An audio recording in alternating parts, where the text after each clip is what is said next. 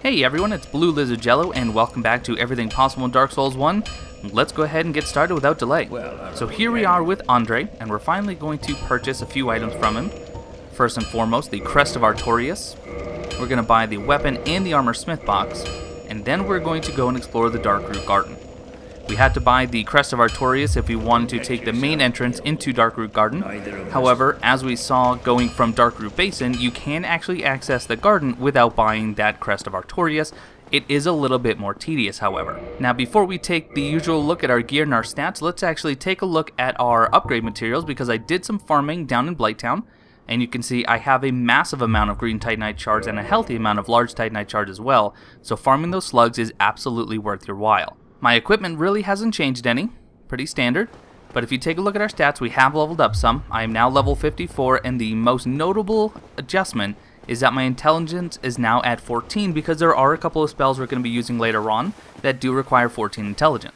Now, moving right along into the garden, we're going to fight a number of these demonic trees or demonic shrubs, whatever you want to call them, and they have a very high drop rate of the moss clumps even without 10 humanity or the covetous gold serpent ring. So I'm not actually going to call out every moss clump that I pick up. We took that pathway in order to go fight the Titanite demon a few episodes ago.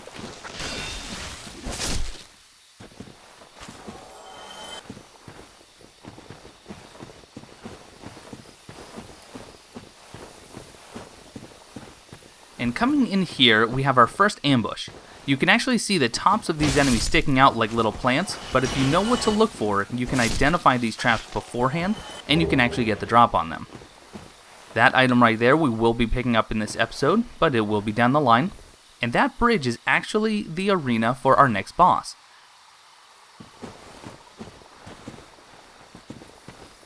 And this butterfly clinging to that tower, that is our next boss. Funny thing is that is actually the first time I've ever noticed you can see the butterfly from down here.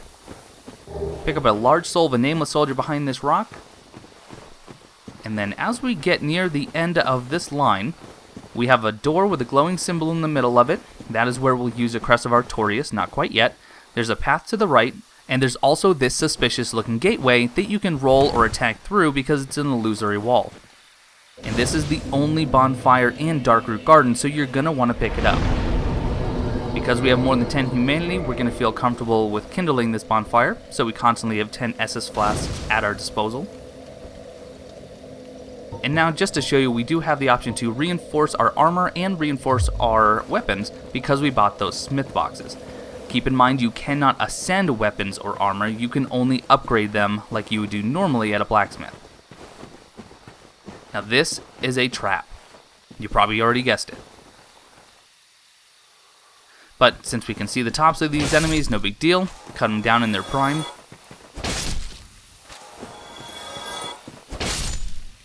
And then we can pick up our reward, a large soul of a nameless soldier.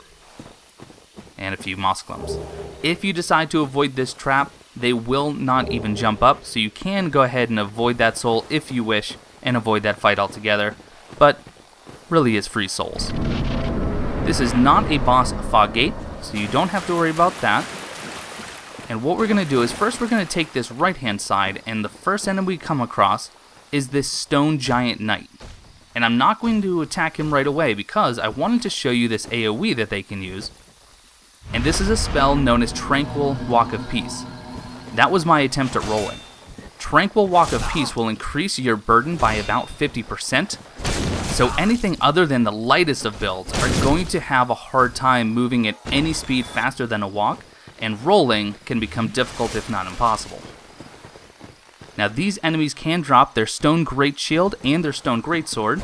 They're somewhat rare drop, however during all my practice runs I got both, and in this run I didn't get either, so sorry I couldn't show you that. And here we have another trap, but I'm sure you probably could have guessed that as well, because if you see a shiny surrounded by what look to be corpses of your enemies, they're not corpses.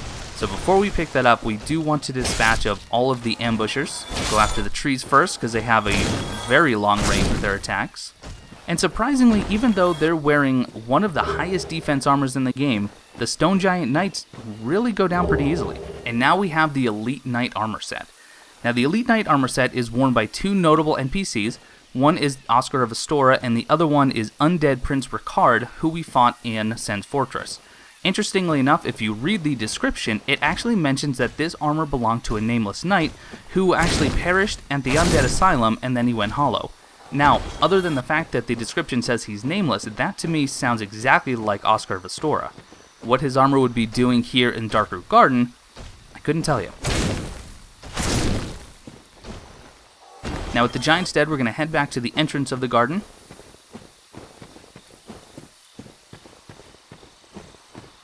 You can see the top of another one of the demonic trees. Take him down. He isn't ambushed because if you follow this path to go get the item at the end, he will spring up behind you. But before we get that, we have kind of an ambush. If you can notice on the tree, he does blend in a little bit. We have a tree lizard here, and he will attack you if you try to pick up this partizan without killing him first. Now there's one more tree lizard in this area, and if you're looking for an egg vermifuge, which can cure the egg parasite that you would get from the egg carriers down in Quelaag's domain, or you can trade it to Snuggly for a dragon scale, these are the only two enemies that will drop them. You can, however, buy them later on if you become infected with one of the egg carriers. But that is it for this area, so with all the enemies clear, we're going to take a look at this tower. This will lead us up to the Moonlight Butterfly fight. However, Something seems suspicious about this bush, and sure enough, underneath we have a summon sign for Witch Beatrice, who we are going to use for this fight. In fact, much like Iron Tarkus, you can actually leave this fight to Witch Beatrice and she will take care of it for you. It could take a little bit longer than the Iron Golem fight, but she'll get the job done. So we're going to lead her up and we'll show you the fight. It's one of these simpler boss fights in Dark Souls, even if you don't use her as long as you can either block the magic projectiles or dodge out of the way, which is a bit easier, then you can just wait for the butterfly to land. Well, you'll see.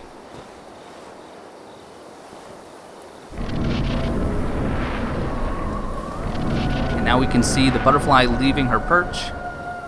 She's to fly down and take notice of the horn on top of her head because that is an item that you can actually get, or a weapon rather, that you can make using her soul. We'll talk about her soul once we pick it up. Now those projectiles are a little bit harder to dodge only because they come so fast, but that slow moving projectile is very easily rolled through or away.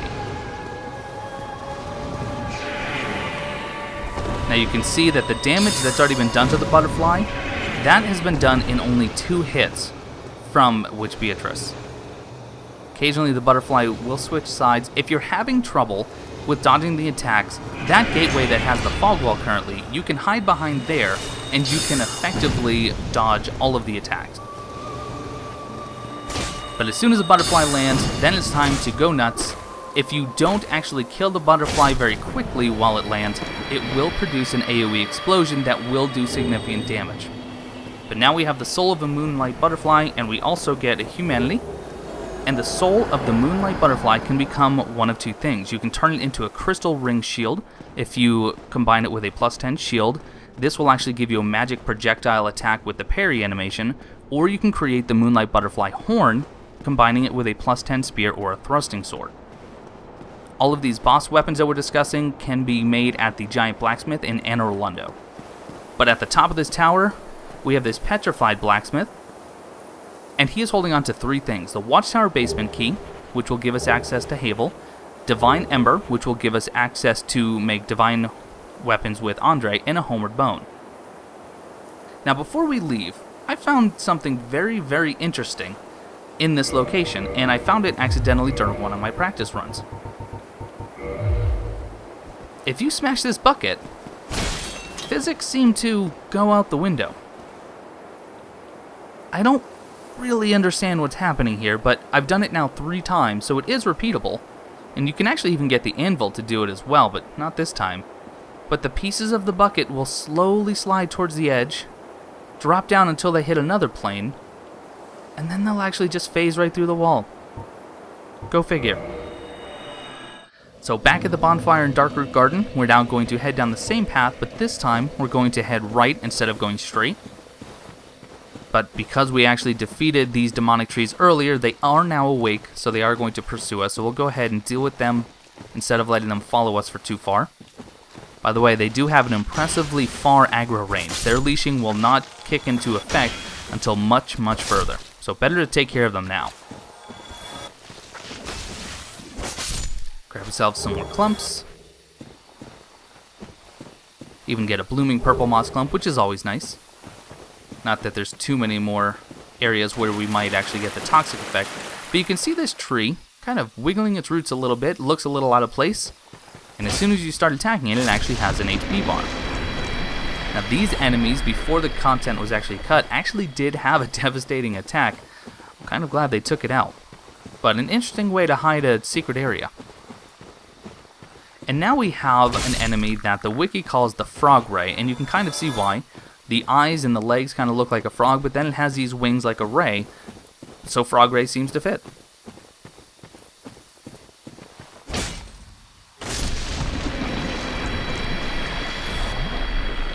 But these frog rays are an excellent source of green blossoms, an item we actually haven't picked up yet, even though we did see that they were sold by the Crestfallen merchant in Sen's Fortress. But if you're looking to farm it and not actually pay any money for them, these are the enemies to farm them from. Now, just to forewarn you, they have ragdoll physics just like the demonic trees and the slugs down in Blighttown, so carefully don't kick them off the edge pick up this soul of a proud knight that they were guarding, and now we can start picking up the green blossoms from their bodies. Looks like one of them actually already fell off the cliff. In fact, I'll go ahead and see you just how flimsy they are. There they go. And at the base of this ruin, we have another stone giant. You can start attacking right before they're fully stood up. When their knees are still slightly bent, you can start your attack and they will take damage. And with my plus 10 claymore, two two-handed swings is all it takes. Running up this path, we are actually going to find that item that we saw on a ledge at the beginning of the video. But first we do have one more stone giant to deal with. So now you've actually seen all of the stone giants in Darkroot Garden, so if you're looking to farm the Great Shield and the Great Sword, you can actually devise a pretty efficient path. But the item is a very valuable ring known as the Wolf Ring.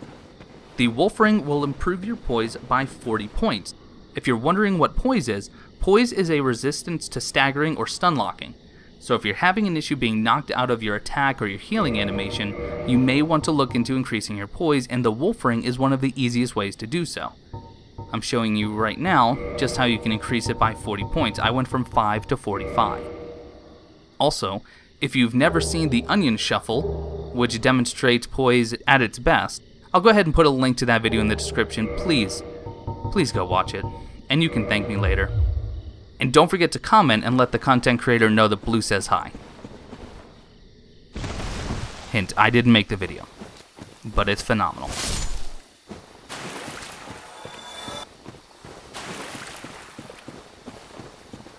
So now we have completed that side section of Darkroot Garden. So now we're actually going to go into the main section by using the Crest of Artorias. Now if you are playing online and you are human, this can be a very troublesome area if you are not looking to PvP. While you are in this garden, you are susceptible to invasions from members of the Forest Covenant. And they happen rapidly, and they can happen multiples at a time. So, if you do not want to be invaded, you may want to be hollow or you may want to play offline. But just kind of showing you some of the different enemies in this area. One is already aggroed. And I'm going to show you two very easy ways of dealing with them. The first is we're going to run around and aggro as many of them as we can because we're actually going to take them on all at the same time. Sort of.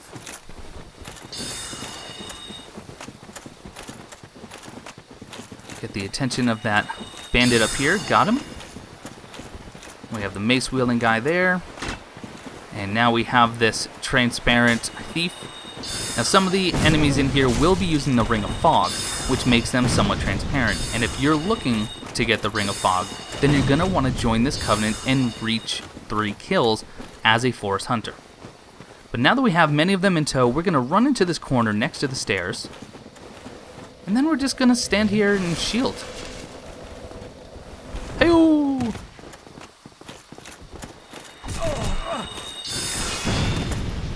Bye.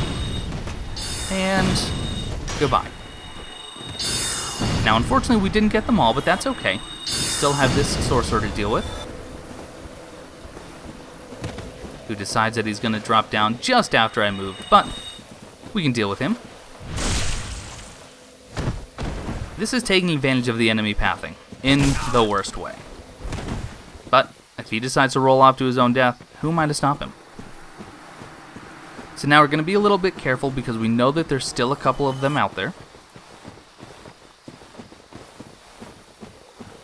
And there's one straight ahead. And this enemy's AI bugs out. I don't know if it's because of this rock or what, but no matter what I do, he actually doesn't attack. He doesn't even try to run away anymore. Never seen this happen with one of these enemies. But I appreciate it nonetheless. One more down. Now we're going to skirt around kind of the edge of this cliff here. We do have two more. We have this knight that we have to deal with, but we also have this hunter. And the hunter is the only one in this group that actually has a drop, a drop that we do want to pick up. I want to pick up all the drops. Why do I ever say that I want to pick up this drop? I'm going to. It's it's a given. It's the entire nature of this series. Now, these are still true enemies. These are living, quote unquote, living enemies. They're not ghosts, they're not some sort of apparition, they're transparent because of the Ring of Fog. And as such, you can still parry and riposte, and you also can get the backstab as I just demonstrated. So with the knight down, just one more to deal with. And this is the hunter, and very likely this hunter's name is Pharis. And you're going to see why we believe that in just a moment.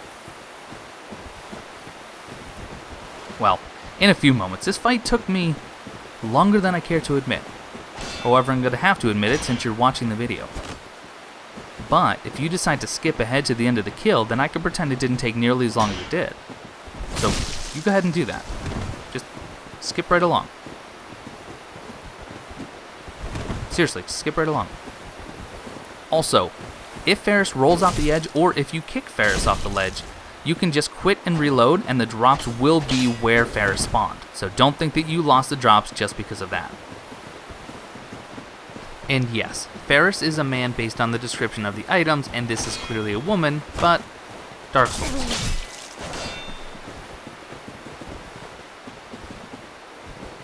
Now because it is a forest, we're going to go ahead and use the trees to our advantage, because had we not healed, we very well could have died. The fight is almost over, I don't know what that tree ever did to Pharis, but okay. Was worried about the backstab. And then, there it is.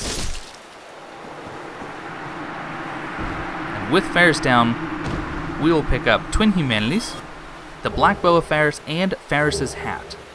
Hence why we believe this is Pharis. Now the Black Bow of Pharis, it does have the best range of any bow or any non-great bow in the game, However, the damage is only average, so it's really only recommended for a very high dexterity build because it does have S scaling and dexterity from the get-go. Not get-go, the get-go. So I used a homeward bone to get back because now I'm going to show you the even easier method of dealing with these enemies. And it's just that you don't kill them. Instead, you run past them all, you go into this archway, and you talk to Alvina. And as soon as you talk to Alvina and you join the Forest Covenant, these enemies are not your enemies anymore. In fact, they are your brethren. So we're going to join the Covenant. I did previously leave the Way of the White by talking to Oswald of Carim in the Undead Parish. So no sinning there. And now we get the Cat Covenant ring. The Cat Covenant ring, when you're wearing this ring and you're a member of the Cat Covenant, you can be summoned to fight an invader or someone entering the garden from almost anywhere else in the game. And again, if you're looking for that Ring of Fog, you need to kill three of those hosts in order to get that ring. I've heard all about you. Now this is Shiva of the East. Shiva is wearing the Eastern armor set, something we're going to pick up momentarily. Shiva right now doesn't have much to say, but you do want to exhaust his dialogue because later on he will move to Blighttown and become a merchant, and a merchant who sells some pretty rare equipment.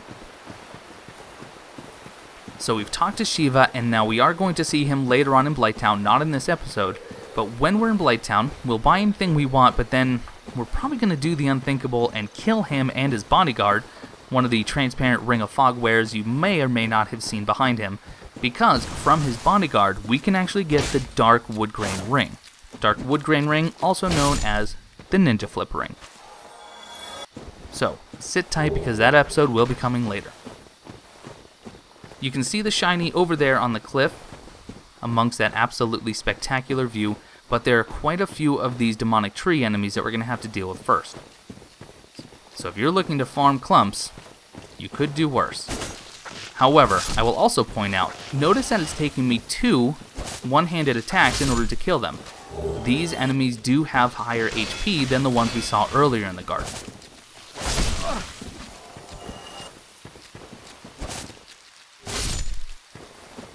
And, if you notice, when they do actually attack you, their attacks are no joke.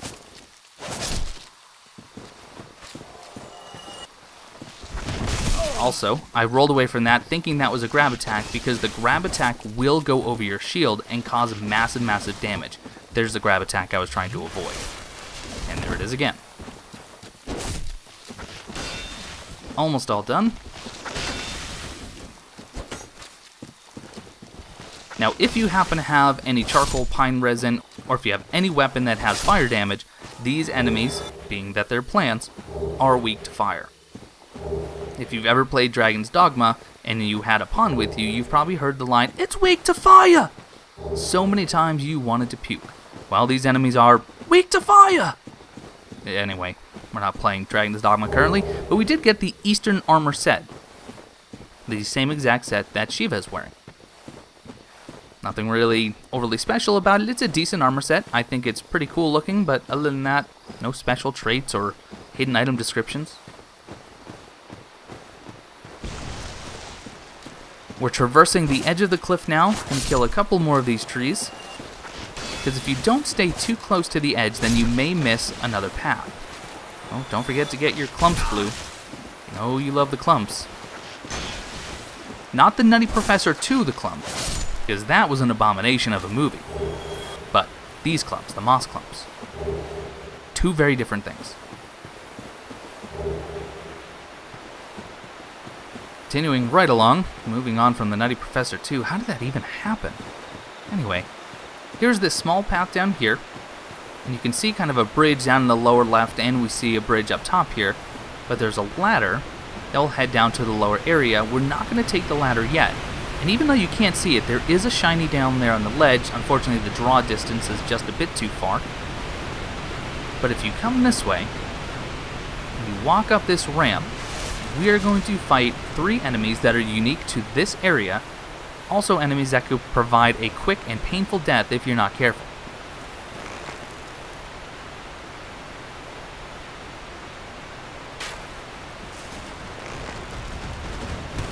We're going to get one's attention and then hide down in between these two trees because there is some collision detection that will help us in order to fight these cats, or great felines as they're called.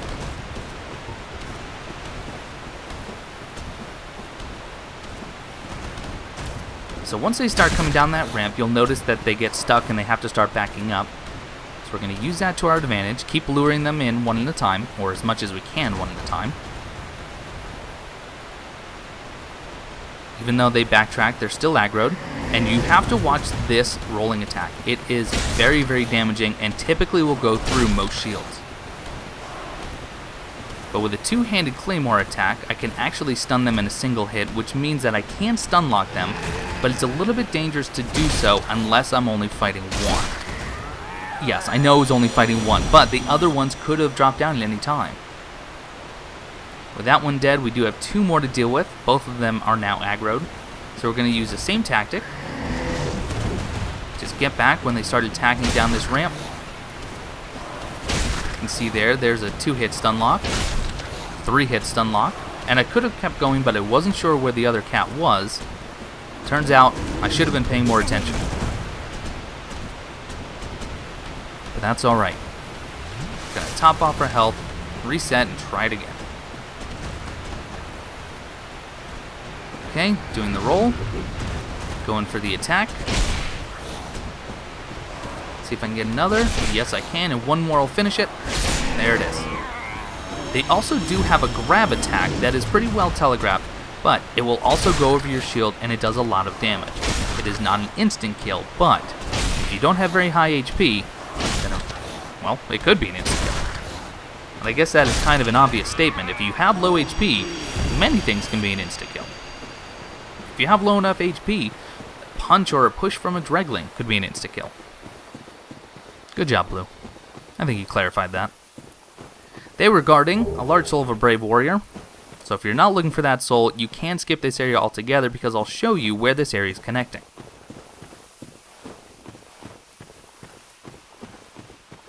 Going to stick to the left side of this cliff. You can see some enemies or some things off in the distance on the right hand side, some mushroom looking guys. That's exactly what they are. Those are mushrooms. Those are mushrooms that will devastate you if you let them.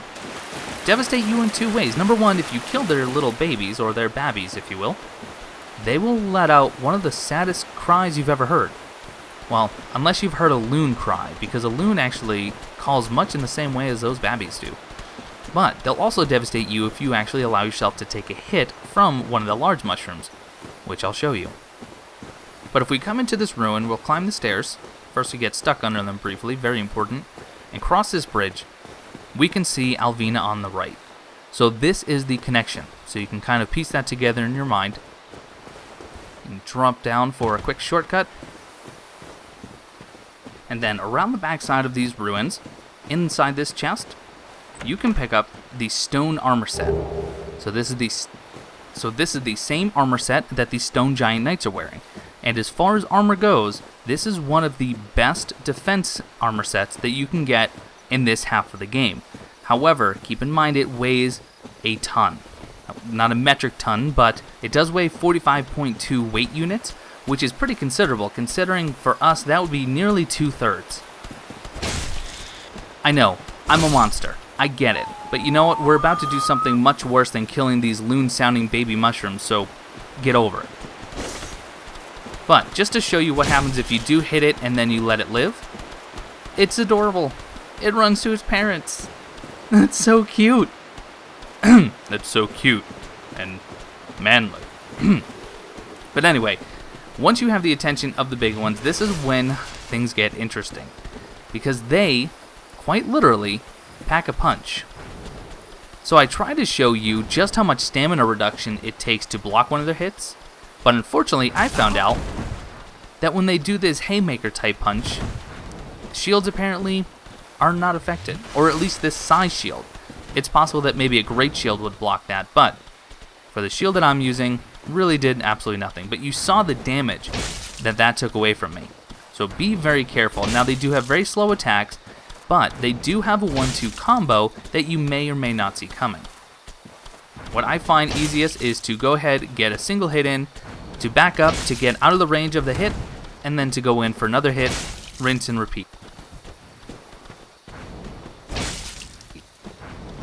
And there's that 1-2 combo. But they have a very common drop of gold pine resin. In fact, this time we actually got two. So, if you're looking to farm them, these are the only enemies that will actually drop the gold pine resin. There are a couple of merchants who will sell them in limited quantities, but they sell them at 1200 souls apiece. So, if you're looking to farm, the forest is a great place to do so for a number of items, including the gold pine resin. Now these small babby mushrooms can drop the gold pine resin, but the drop rate is much less. Although, I say that, and then one drops on one of the babby mushrooms. Go figure. Rinse and repeat for this mushroom. And the item that they're guarding is something that not everyone is going to have a need for, so again, if you don't need it, go ahead and bypass them. The babbies are non-hostile, and the adults have a very short aggro range anyway. So we got a couple more gold pine resin, and now inside this wooden chest that they are guarding, we get the enchanted ember. This ember, when given to Rickert, who we actually haven't seen yet, but he is in the New Londo ruins, that can turn a plus 5 magic weapon into an enchanted weapon. This is one of the best upgrade paths you can choose if you're going for a high intelligence build. But with the Darkroot Garden behind us, we're about to cross this bridge into territory that really no man should tread. Then again, unless you're playing Dark Souls and you actually want to beat the game, then you have to. But through this door lies one of the most memorable and depressing encounters of any Souls game to date. So we're going to go ahead and push this very heavy set of doors open. And inside, what could be described none other than a boss arena. And looking straight ahead, you can see a tombstone with a very large sword sticking out of it. A whole lot of other numerous swords and weapons sticking out of the ground in front of it, indicating that people have not fared so well here. But before we go and approach that grave, we're going to go around the backside because you can actually pick up the Hornet Ring without encountering the boss. And the Hornet Ring will give you an extra 30% to your critical attacks. Critical attacks being backstab and riposte.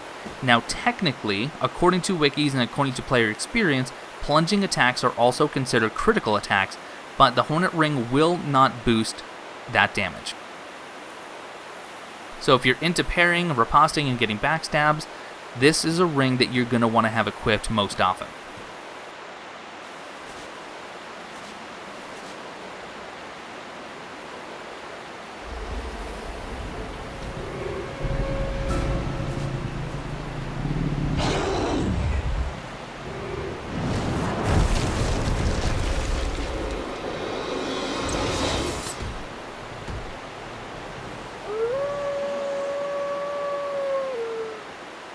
To be quiet during that cutscene.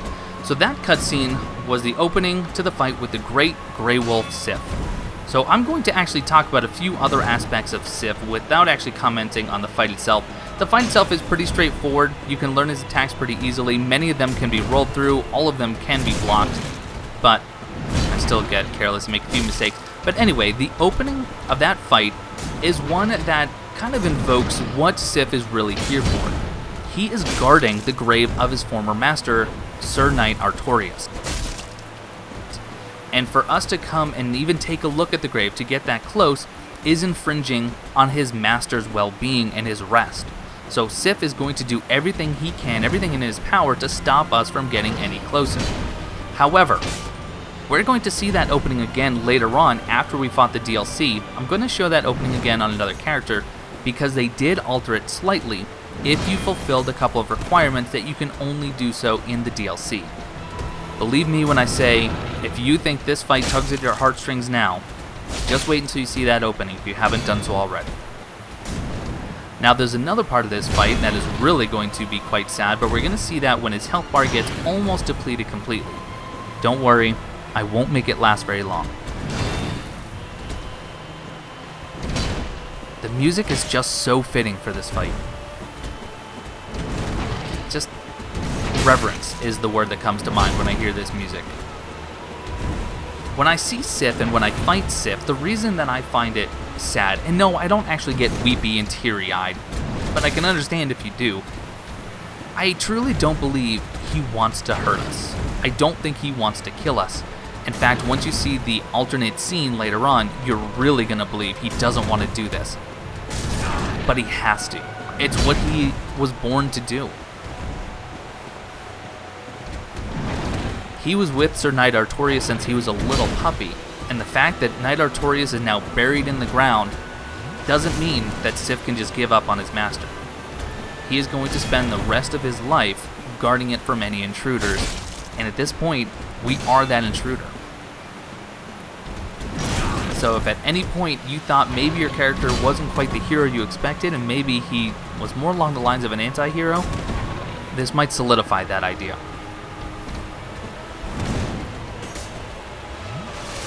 But I'm going to go ahead and be quiet for the rest of the fight, or at least until the next phase happens, and you guys can just enjoy this absolutely beautifully well done fight.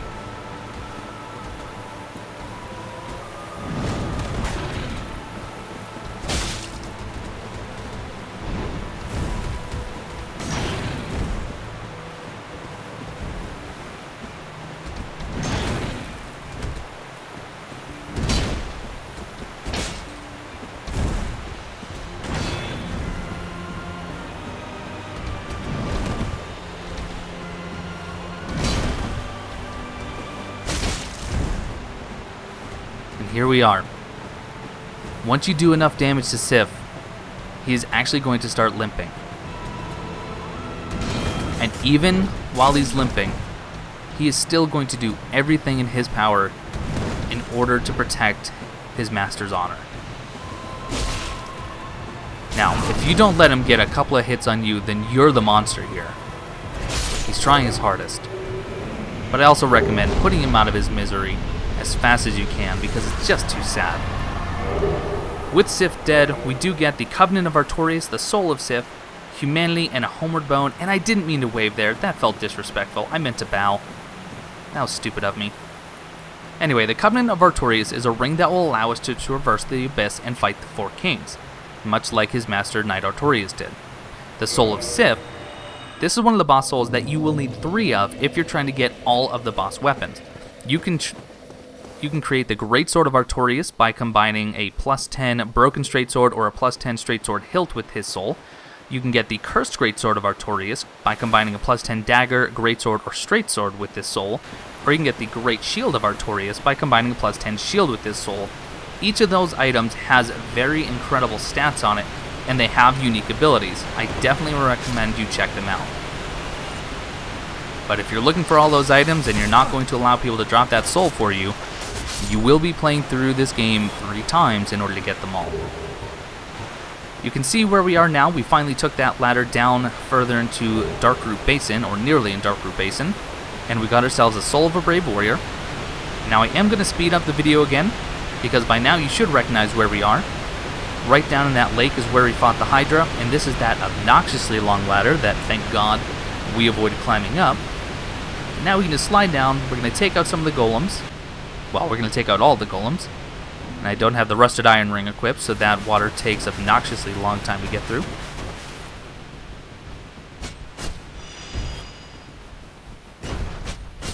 Two more golems to go down. And then we're going to head up to the watchtower we saw before but was locked, but now that we have the watchtower basement key that we got after fighting the Moonlight Butterfly, we can finally take on Havel the Rock or Havel the Rock. I actually go back and forth now that I think about it. And you can actually see he wanted to see who was at the door. But now he's shy. Oh, look at him. Adorable. This guy can wreck even the highest of players. Now his shots won't one-shot you in most situations, but they can. So you want to be careful with how you're actually going to approach this, but he is very susceptible to backstabs and as you'll see in just a moment, he is also susceptible to parrying, if you're brave enough to try it. I was really clenched for this. Oh, I really was. In my seat, my palms were sweaty, I was, I was shaking in my boots. But that is Havel the Rock. Probably. I say probably because we're going to look at the item description in just a minute. But Havel's Ring will give you an increased item burden of 50%. So, if I were to put this on right now, I could actually be fast rolling despite how much equipment I have on at the time. Havel's men wore the ring to express their faith. Havel's men. It didn't actually say that Havel wore this ring. There is a theory out there that this is not the true Havel the Rock and this is only one of his servants, probably a member of the Way of White because Havel was a bishop, likely in that covenant. So, you can believe it's Havel, you can believe it's a servant of Havel, Either way is totally fine. I believe that there's evidence for both theories.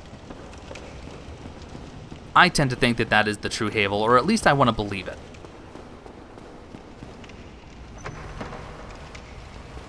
But now you can see where we are at. We are back in the Undead Burg. And that is going to wrap up this episode. So guys, thank you so much for watching. If you learned something, leave me a comment and let me know what you learned. If I missed something, make sure you leave that as well and I will catch you next time where we will be most likely exploring the catacombs.